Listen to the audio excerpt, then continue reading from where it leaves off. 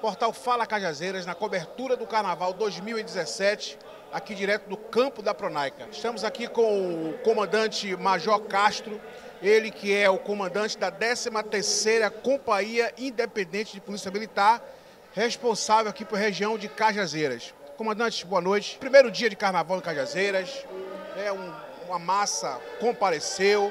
Avaliação né, desse momento que aconteceu. Bom dia ao grupo Fala Cajazeiras, Eduardo. É, primeiro, queria só fazer uma pequena correção. É, terceira companhia independente, ao invés de décima terceira. Mas é, a gente encara aí esse primeiro dia é, de uma forma bem tranquila, né? A gente é, estima aí que no, no auge da festa nós tivemos aí cerca de 7 mil pessoas, 7 mil a 8 mil pessoas, né? E graças a Deus, até o momento, né? Estamos próximos ao final do evento, sem nenhuma ocorrência é, de, de alta relevância. Sem nenhuma ocorrência. Está vindo aí o Igor Canário. É, todos nós sabemos, né, de modo geral, que ele atrai multidões, muita gente. E já existe uma especulação de que será um dia atípico, né?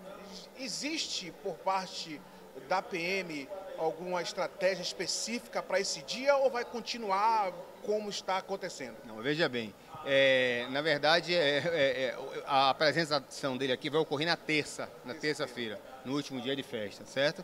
A, a, a, cúpula da PM reuniu com o cantor Igor Canário é, na tarde de anteontem, onde estipulou, né, né na verdade, algumas regras, não, eu não chamo nem, nem de regras, alguns acordos foram feitos para que a gente pudesse é, pormenorizar ao máximo as ocorrências na apresentação dele. Ele tem um público bastante é, é, é, fiel a ele, né? que acompanha em todos os eventos e não vai ser diferente aqui em Cajazeiras, com certeza a gente espera. Então, com isso, a gente tem trabalhado nesses dias, hoje, sábado, né? domingo e segundo, com um efetivo próprio nosso, próprio da Companhia de Cajazeiras. Na terça-feira, com a apresentação do cantor Igor Canário, nós vamos ter um reforço, além do efetivo que a gente já vem aplicando, nós vamos ter um reforço do, de patrulhas do Batalhão de Choque e guarnições da Rondesp que vão fazer a circunvizinhança nossa aqui. E, e também todo o nosso efetivo vai estar empregado aqui nesse dia do evento.